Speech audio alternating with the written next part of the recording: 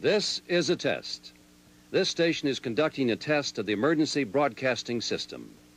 This is only a test.